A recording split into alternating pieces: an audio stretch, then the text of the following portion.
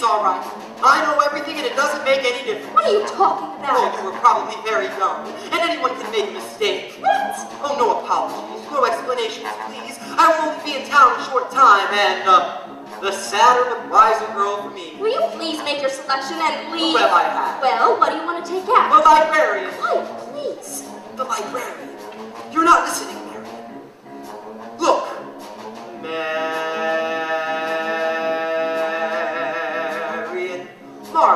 Six steelies, eight aggies, a dozen kiwis, and one big glass with an American flag in the middle. I think I'll drop. No. Shh. Madam Librarian.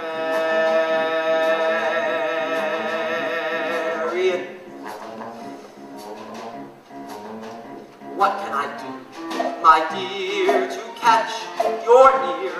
I love you, Madam, Madam, Madam Librarian.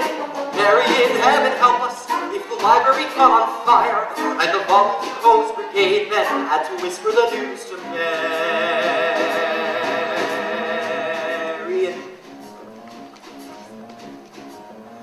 Madam Librarian.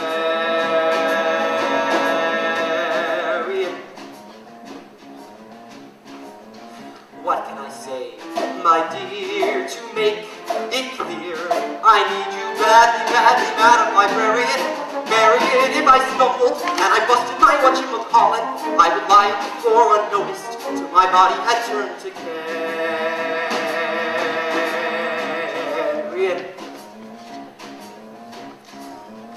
Madam Librarian.